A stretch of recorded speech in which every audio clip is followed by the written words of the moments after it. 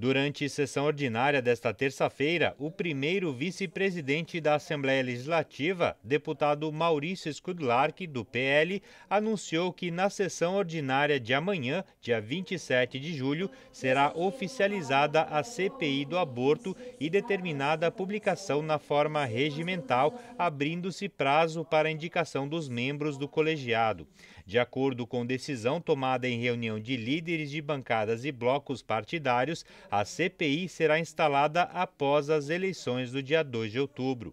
O requerimento de instalação da CPI foi apresentado pela deputada Ana Campanholo, do PL, e assinado por outros 21 parlamentares, com o objetivo de investigar o caso de interrupção de gravidez de uma menina de 11 anos vítima de estupro na cidade de Tijucas. Ainda durante sessão desta terça-feira, o primeiro vice-presidente do parlamento comunicou que os líderes de bancadas e blocos partidários decidiram alterar o calendário especial de 2022 para manter as sessões ordinárias em horário regimental nos dias 2, 3 e 4 de agosto e suspender as sessões nos dias 23, 24 e 25 de agosto. O objetivo é votar na próxima semana a Lei de Diretrizes Orçamentárias para 2023.